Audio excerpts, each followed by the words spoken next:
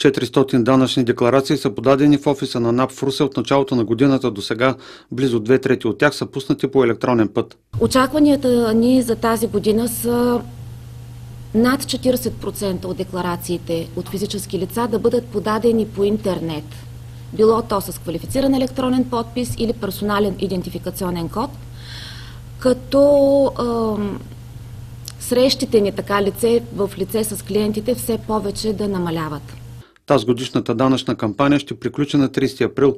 Може да се ползва отстъпка, но не повече от 500 лева. За да могат лицата да се възползват от 5% отстъпка върху данъка за довнасене, те трябва да подадат годишната си данъчна декларация по интернет с ПИК или КЕП до 31 януари и в този срок трябва да внесат дължимия данък. Отстъпката, пак казвам, 5% върху данъка за довнасене, но не повече от 500 лева. Това могат да използват като отстъпка. И още нещо, което е много важно, за да могат да се възползват от тази отстъпка, те трябва да нямат подлежащи на публично, на принудително изпълнение публични задължения към датата на подаване на декларацията.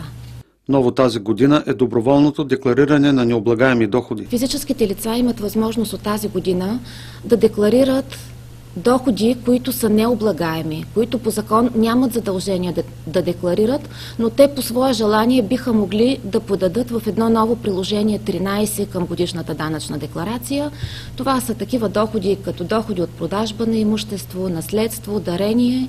Това е по желание на лицата.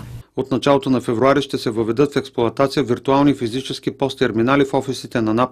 За Русе са предвидени 10 такива устройства в салоните за обслужване на клиенти. По този начин няма да се налага да се чака едно денонощие, както беше до сега, за да постъпят парите от една сметка в сметката на Националната агенция за приходите.